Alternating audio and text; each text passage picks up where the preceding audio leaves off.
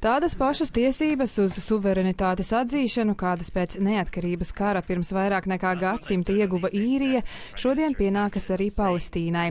Par to pārliecināta īrijas valdība, paužot cerību, ka Palestīnas atzīšana dos impulsu miera procesam, kura nepieciešamību vēl akūtāku padarīs karš Gazā. Arī Norvēģija, kas jau iepriekš ieguldījusi diplomātiskus pūliņus šajā konfliktā, uzskata to par soli ceļā uz divu valstu risinājumu, ko daudzi redz kā kā vienīgo iespējamo noslēgumu vienam no pasaules senākajiem konfliktiem. Vienlaikus tas pauž atbalstu mērenajiem spēkiem, kas šajā karā arvien vairāk zaudē pozīcijas.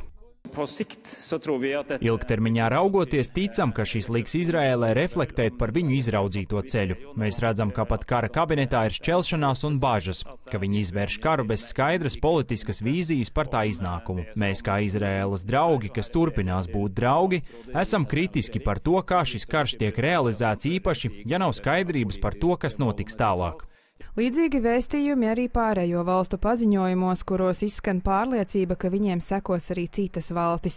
Gatavību spērt šādu soli tuvākajā laikā paudušas arī Slovēnija un Malta.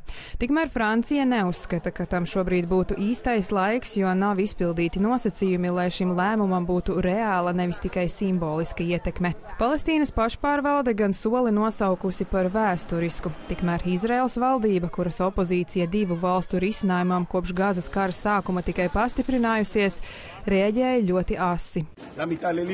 Palestīnas atzīšana ir kā apbalvojums Hamas un slepkavām. Mēs nepieļausim Palestīnas valsts deklarāciju. Dievs to nepieļaus. Valstu trio noraida, ka lēmums ir par labu teroristiem un sauc to par propagandu. Tieši pretēji tas esot par mieru. Tomēr valstis, kas vēl nogaida, ASV un lielākā daļa Rietuma Eiropas pauž, ka gatavas atzīt Palestīnu tikai tad, kad tiks panākta vienošanās par tādiem jautājumiem kā galīgās robežas un Jeruzalemes status. Palestīnas atzīšana ir solis ceļā uz palestīniešu pašnoteikšanos. Tas ir priekšnosacījums Arābu valstu atbalstam Gazas pamiera procesā, lai nodrošinātu divu valstu risinājumu.